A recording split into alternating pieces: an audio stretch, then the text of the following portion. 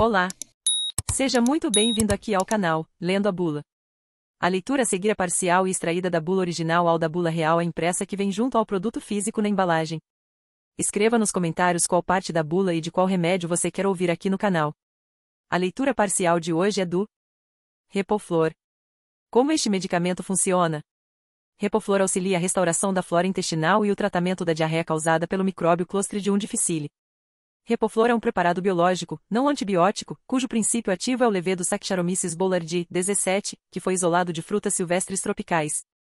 É um microorganismo vivo, resistente à ação dos sucos gástricos, entérico, pancreático e biliar, antibióticos e quimioterápicos. Repoflor beneficia o desenvolvimento da flora intestinal fisiológica, impedindo a proliferação dos germes potencialmente nocivos ao tubo digestivo. Diversas propriedades do Saccharomyces boulardii inibem o crescimento de diferentes agentes patogênicos, tais como proteus, Escherichia coli, Shigella, Salmonella, Pseudomonas, Staphylococcus e Candida albicans.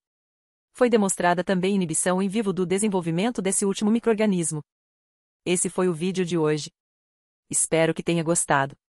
Certamente você conhece alguém que tem dificuldade para enxergar e ler a bula, não é mesmo? Vem conhecer o canal, lendo a bula e ouça esta e muitas outras bulas. Compartilhe com seus amigos e familiares o link do canal, Lendo a Bula. Espero por vocês lá. Tchau.